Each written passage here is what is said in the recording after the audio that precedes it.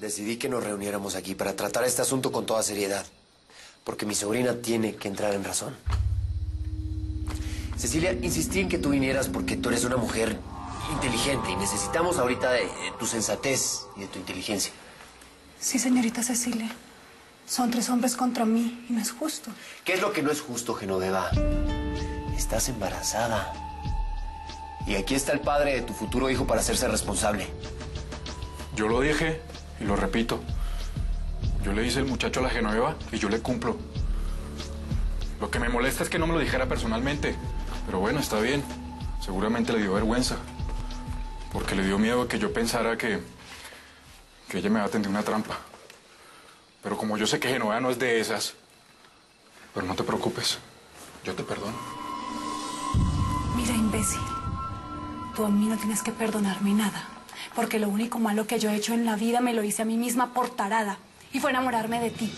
Y abrirte las piernas con una más de tus churnias. Pero eso se acabó. Por favor, Genoveva. Abuelo, por favor, déjeme hablar.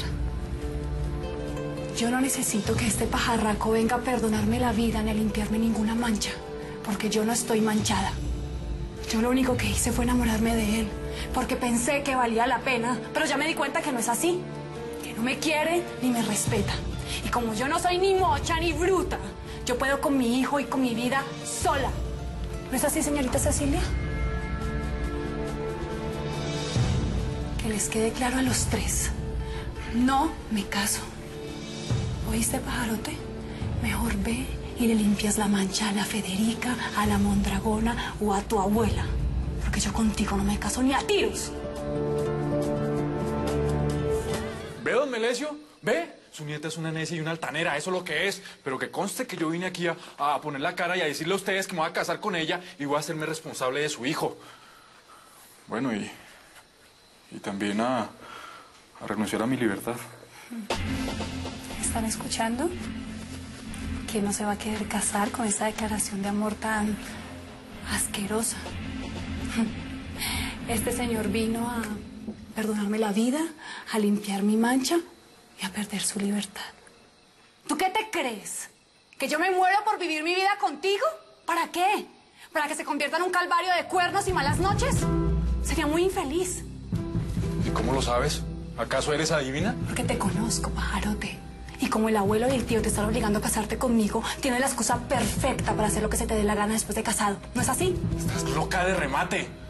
No nos hemos casado y, ya estás formando líos por, por unos cuernos que todavía no te he montado. Pero me los vas a montar. Es igual. Es igual. Así que te quede claro que yo prefiero mil veces vestir santos que vestir un borracho sinvergüenza como tú. Abuelo, tío, por favor acostúmbrense a verme manchada y con un hijo a cuestas. Eso sí, sola, pero feliz. Buenas noches. ¿Ya lo oyeron? ¿Ya lo oyeron? Es la mujer más complicada que he conocido en mi vida. ¿Qué es lo que quiere de mí, Antonio? ¿Qué es? Mira, Cecilia, por favor, convence a Genoveva de que está equivocada, de que no es bueno que una mujer cría un hijo so- ¿Sola? ¿Estás hablando en serio, Antonio Sandoval? Hmm. Pues no. Yo no podría aconsejar a Genoveva de esa manera porque yo creo que ella tiene toda la razón.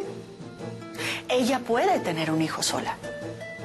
Y puede vivir feliz sin casarse y lo sabré yo. Porque el padre de mi hijo se casó con la otra. Justo cuando podríamos ser felices. Eh, perdón, pajarote. Por si no lo sabes, te lo aclaro. No eres la última limonada en el desierto. Con permiso.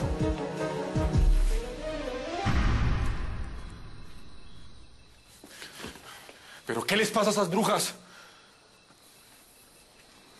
Con todo el respeto. ¿Ve? Hasta yo salí salpicado. ¿Saben qué? No lo había pensado así. Pero esas dos mujeres tienen toda la razón. Con un par de animales como ustedes, es mejor andar solo que mal acompañado.